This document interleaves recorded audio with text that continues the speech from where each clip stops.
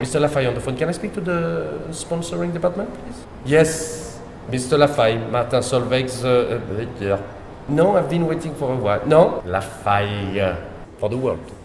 But it's a joke. Enfin, you have no clue. Martin Solveig. But it's big in Japan.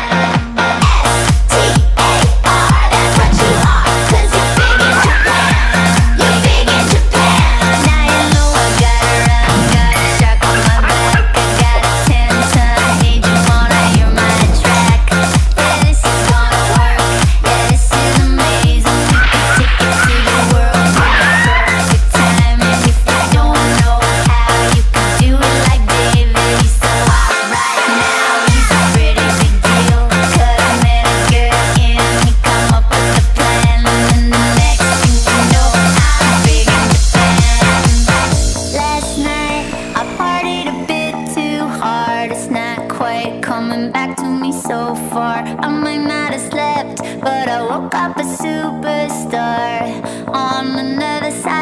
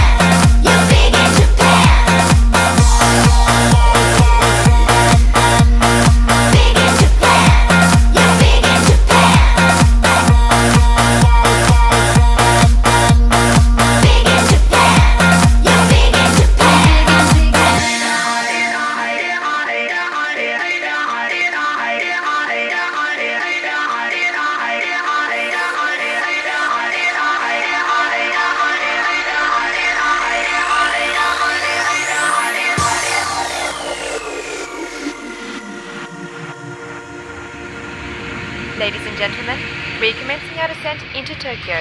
Please return to your seat, fasten your seatbelt, and refrain from smoking.